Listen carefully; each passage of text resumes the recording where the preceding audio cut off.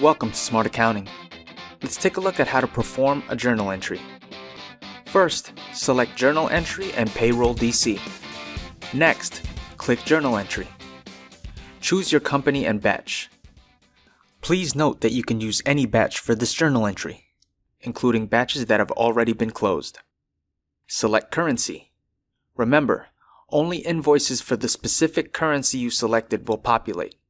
If you're looking for a transaction in a different currency, please change it now.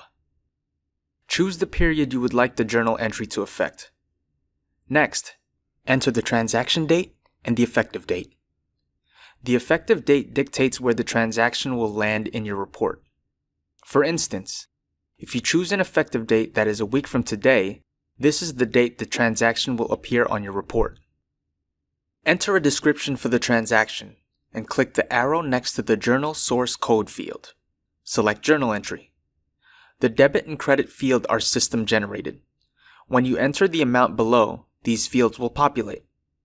The line number will automatically populate when you tab through to the GL production field.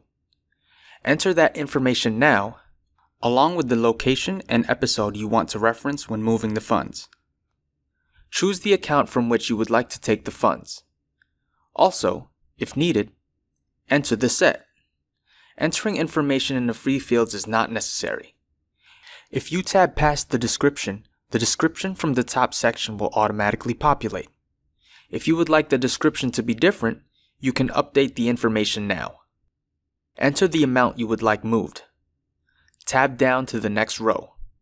The GL, location, and episode information will populate from line 1 if you tab through them. Enter the account to which the funds will be moved.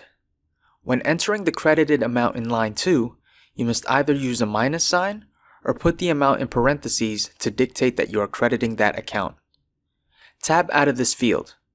Check to make sure your credit and debit match in the fields above, and click the save icon or press F6. A pop-up window will display with your new transaction number. Now you can audit and post the transaction once ready and that's performing a journal entry in SmartAccounting.